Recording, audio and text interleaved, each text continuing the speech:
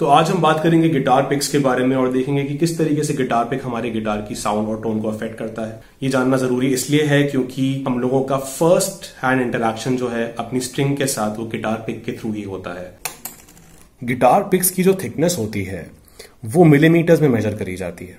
यहाँ पे मेरे पास दो पिक्स हैं काफ़ी डिफरेंट थिकनेस के। ये है टॉटेक्स का पॉइंट फाइव एम का, इसकी थिकनेस पे गौर करिए। फिर यहाँ पे ये जिम डनलप का बिग स्टबी है, इसकी थिकनेस पे गौर करिए। दोनों को साथ में देखिए तो समझ में आएगा कि जो थ्री एम mm का पिक है, वो काफ़ी ज़्यादा मोटा है पॉइंट फाइव एम के पिक से। इनको बोला जाता है गेजेस मतलब कि ये जो है लाइट गेज का पिक है और ये हैवी गेज का पिक है। और ये पॉइंट फाइव का और ये थ्री एम mm का है, ये काफ़ी कॉन्ट्रास्टिंग गेजेस है मतलब कि ये एकदम पतला है, ये एकदम मोटा है, एकदम लाइट गेज है, ये काफ़ी ज़्यादा हैवी गेज का है। और इनके बीच में कई सारे और साइजेस आते हैं, जैसे वन एम mm का हो गया वन पॉइंट थ्री एम का हो गया वन पॉइंट फाइव हो गया टू एम mm हो गया, कई सारे और थिकनेस के पिक्स आते हैं। नेक्स्ट चीज़ बात करते हैं, लचीलेपन की। ये पिक जो है काफ़ी लचीला है, अगर आप देखिए इसको, इसकी बॉडी कितना ज़्यादा मूव कर रही है। ये पिक बिल्कुल भी लचीला नहीं है। देखिए, ये बिल्कुल भी मूव नहीं कर रहा। तो दो फैक्टर्स हो गए देखने के पिक को। एक हो गया कि आपकी जो थिकनेस है मतलब कि पिक कौन सी गेज का है लाइट है या हैवी है। दूसरी चीज़ इलास्टिसिटी यूजुअली क्या होता है कि जितने भी पिक्स लाइट गेज के होते हैं, उनमें इलास्टिसिटी ज़्यादा होती है हैवी गेज पिक्स की कंपैरिजन में। और लास्ट बात करते हैं एप्लीकेशन और साउंड ये वाला पिक की जो साउंड होगी, ये काफ़ी ब्राइट होगी लश होगी, इसलिए आप इसको कॉर्ड्स अकूस्टिक गिटार पे प्ले करने के लिए यूज़ कर सकते हैं। ताकि आपको जो साउंड मिले वो ब्राइट हो लश हो। दूसरी तरफ़, इस वाले पिक की जो साउंड है वो काफ़ी मेलो होती है। मतलब कि अगर आप लीड प्ले कर रहे हैं, जहाँ पे आपको थोड़ी सी सॉफ्ट साउंड चाहिए, या फिर अगर आपको एक वेल राउंडेड टोन चाहिए, और आप जो पार्ट्स प्ले कर रहे हैं लीड पे वो काफ़ी टेक्निकल हैं तो उसमें ये पिक आपकी मदद करेगा। ऑल्सो क्योंकि ये पिक जो है बिल्कुल लचीला नहीं है तो ये आपको प्रिसिशन काफ़ी देता है वर्सेज इस पिक में, जिसमें लचीलापन ज़्यादा है। क्योंकि अगर आप प्रिसाइज मूवमेंट चाह रहे हो, लचीलापन होगा तो पिक जो है कभी कभी गलत जगह पे भी हिट कर सकता है। ऐसा कोई रूल नहीं है कि आपको इस पिक को हमेशा रिदम्स के लिए यूज़ करना है और इस पिक को हमेशा लीड्स के लिए यूज़ करना है। ये थोड़ा बस एक तरीके का फ्रेमवर्क में डिवाइड करा हुआ है। आप दोनों पिक्स को अपने मन के हिसाब से किसी भी एप्लीकेशन के लिए यूज़ कर सकते हैं। अब हम देख सकते हैं कि दोनों के बीच में साउंड का डिफरेंस क्या है। लाइट गेज पिक का और हैवी गेज पिक का। पहले मैं कुछ कॉर्ड्स प्ले करूँगा और पहले मैं बजाऊँगा उसको अपने बिग स्टबी थ्री एम से और उसकी साउंड आप सुनिएगा। उसके बाद में उसको अपने light gauge point five M pick से बजाऊँगा। पहला डेमोन्स्ट्रेशन ये है हैवी गेज पिक के साथ।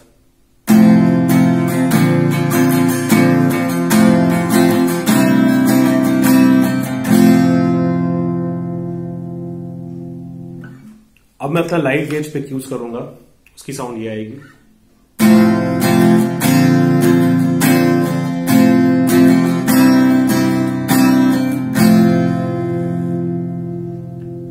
की साउंड मुझे दोनों की sound on basis of application समझ में आती है कि कहाँ पे किसकी साउंड ज़्यादा अच्छी लगेगी, कहाँ पे किसकी साउंड नहीं अच्छी लगेगी। दोनों चॉइसेस हैं हमारे पास, लेकिन जो चीज़ गौर करने वाली यहाँ पे है, वो ये है कि जो पिक का अटैक है, जैसे जो लाइट गेज पिक है, उसकी अटैक की साउंड सुनिएगा। वर्सेस हैवी गेज पिक की। इसकी साउंड ज़्यादा मेलो आ रही है, उसकी साउंड ज़्यादा ब्राइट आ रही है, और यही मेन डिफरेंस है दोनों में। तो रिदम प्लेइंग के लिए मोस्ट ऑफ़ द टाइम अगर आप चाहते हैं आपका गिटार का जो साउंड है वो कट थ्रू करे मिक्स में कट थ्रू करे आपके बैंड के पूरी सेटअप में तो ये पिक यूज़ करेंगे तो जो ये अटैक इसका अच्छा आ रहा है, ये कट थ्रू करेगा और आपके गिटार को प्रॉब्लम ज़्यादा ऑडिबल बना देगा। नेक्स्ट डेमो की बात करते हैं, यहाँ पे मैं लीड को डेमोन्स्ट्रेट करूँगा अपने दोनों पिक्स के साथ। और पहले मैं यूज़ करूँगा 0.5 फाइव mm का पिक उसके बाद फिर मैं 3 mm का पिक यूज़ करूँगा। और दोनों के साउंड में डिफरेंस को सुनने की कोशिश करिए आप।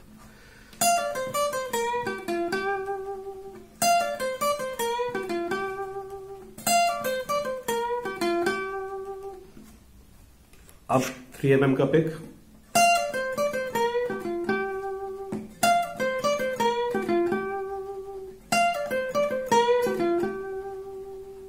तो मेरे हिसाब से इसकी ज़्यादा मेलो टोन है थ्री एम के पिक की और पॉइंट फाइव एम की पिक की जो टोन थी, वो थोड़ी सी ब्राइट ज़्यादा थी। वर्सेस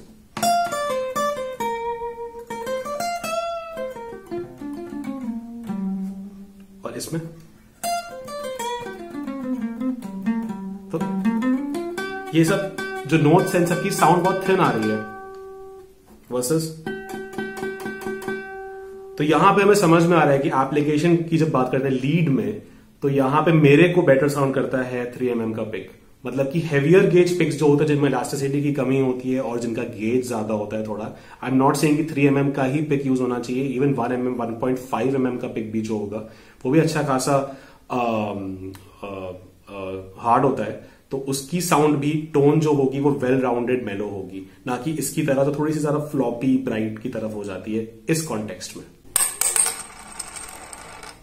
हमने अभी पिक्स के प्राइमरी फीचर्स की बात करी, जो कि थी गेज और इलास्टिसिटी जो कि टोन को अफेक्ट करती है। अब उन चीज़ों की बात करते हैं, जो आपकी प्लेबिलिटी और ईज ऑफ़ प्लेइंग को मतलब अफेक्ट करती है। तो उनमें मैंने चार कैटेगरीज बनाई हैं पिक का टेक्सचर पिक का शेप पिक का साइज़ और पिक की जो ग्रिप है। सबसे पहले बात करते हैं टेक्सचर के बारे में। तो टेक्सचर जो है इस बात पर डिपेंड करता है कि आपकी पिक किस मटेरियल की बनी है। मोस्टली जो गिटार पिक्स आप मार्केट में देखेंगे, वो आती हैं प्लास्टिक की बनी हुई। सारी पिक्स प्लास्टिक की हैं सिवाय इसके। कुछ कुछ होती है जिनमें रबरी कोटिंग होती है ताकि आपको थोड़ी सी ग्रिप और बेहतर मिले। तो वो सब आप ट्राई और टेस्ट करके देख सकते हैं। नेक्स्ट बात करते हैं शेप की। पिक्स जो होते हैं, कई तरीके के शेप्स में आते हैं, लेकिन प्राइमरी चीज़ जो आपको अफेक्ट करेगी वो ये होगा कि आपकी जो पिक की जो एज है, जहाँ से आप स्ट्रिंग को हिट करते हैं, वो पॉइंटेड है या थोड़ी सी राउंडेड है। जैसे राइट वाले पिक में जो व्हाइट कलर का है, उसमें थोड़ी सी राउंडेड राउंडेड एज है। और स्टबी में जो पर्पल है, उसमें थोड़ी पॉइंटेड एज है। इसकी वजह से आपके प्रिसिशन और थोड़ा बहुत प्लेइंग को इनफैक्ट आई वुड से थोड़ा बहुत नहीं, काफ़ी इफ़ेक्ट पड़ता है। तो आपको बजा के देखना चाहिए कि आपके लिए क्या वर्क कर रहा है। नेक्स्ट बात करते हैं साइज़ की। पिक्स के साइज़ भी फ़र्क फ़र्क किस्म के होते हैं। जैसे कि ये पिक जो है, ये छोटा है, जो राइट में है स्टबी से। अब जैसे जाज थ्री एक बहुत ही पॉपुलर पिक है, जो काफ़ी छोटा होता है। उसके भी कई सारे वेरिएशन आते हैं बट उसका जो रेड वाला, छोटा वाला वर्जन आता है, वो काफ़ी पॉपुलर है। तो वो भी आपको ट्राई और टेस्ट करके देखना पड़ेगा। और लास्ट चीज़ है ग्रिप ग्रिप की बात करें तो जैसे ये पिक है, इसमें ग्रिप है दोनों तरफ़। डिप्रेशन है मतलब। ताकि मेरी जो इंडेक्स फिंगर और मेरा जो थंब है, वो आसानी से बैठ जाए मतलब फिट हो जाए। ग्रिप्स कई तरीके की हो सकती हैं। कुछ लोग टेक्सचर्स बनाते हैं पिक के ऊपर ताकि ग्रिप हो जाए। ताकि पिक जो है हाथ से फिसल के ना गिरे। बिना ग्रिप के पिक्स इस तरीके के होते हैं और बाकी किस्म के जो जितने भी यहाँ पे रखे हैं और बाकी, इसको छोड़ के बिना ग्रिप के हैं। इनमें सारी स्मूथ सर्फेस होती है।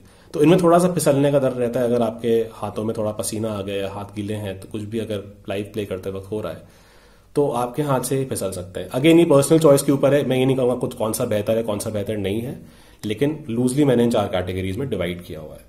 तो आपको ये बात समझनी चाहिए कि आप कौन सा पिक यूज़ करेंगे, वो इस बात पे भी डिपेंड करेगा कि आपको क्या कंफर्टेबल लगता है, आपको कैसा म्यूज़िक प्ले करना है, और आपके हाथ में कौन सी चीज़ सबसे ज़्यादा अच्छे से फिट होती है।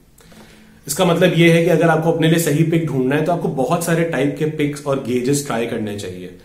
पिक्स के जितने मैंने बताया, अभी ग्रिप्स होते हैं डिफरेंट मटेरियल्स होते हैं, साथ में ऑब्वियसली गेज का तो फ़र्क होता ही है, साथ में उसका जो साइज़ होता है, वो बड़ा है या छोटा है सबको ट्राई करके देखिए और देखिए कि आपको सबसे ज़्यादा बैलेंस किसमें लग रहा है। सो so, अगर आपको मेरे वीडियोस पसंद आ रहे हैं तो प्लीज़ मेरे चैनल को सब्सक्राइब करिए। इस वीडियो को लाइक करिए और कमेंट ज़रूर करिएगा अपनी चॉइस ऑफ़ पिक्स के बारे में अगर आपकी कोई है तो।